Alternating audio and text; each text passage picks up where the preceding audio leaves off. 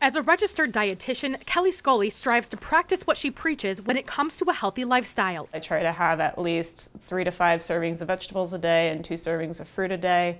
Um, I'm also an active runner. To limit her sugar intake, she enjoys coffee with artificial sweetener, a substitute that's been questioned by scientists for over a decade. I think there's a lot of conflicting information out there on what's healthy for us, what's okay for us, what's okay to eat, what we should be avoiding. Recently, uh, a very high profile report came out that suggested that artificial sweeteners can induce rapidly glucose intolerance by changing your gut microbiota. To resolve the confusion, George Kyriazis and his team at the Ohio State University Wexner Medical Center conducted a study giving the maximum recommended amount of the common artificial sweetener saccharin to healthy adults for two weeks.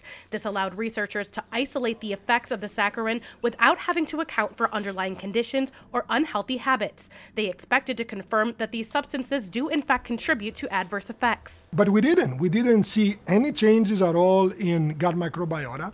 And obviously, we didn't see any changes in altering uh, the metabolic profile of healthy individuals. The results give consumers peace of mind that saccharin doesn't drive the development of diabetes and is a healthier option than added sugars, which are well documented to contribute to diabetes as well as heart disease and obesity. At this point, there's no comparison uh, in terms of the choice, I think. But again, like everything else, in moderation. So Kelly will continue enjoying her daily coffee as is, trusting the evidence that it's a healthy choice.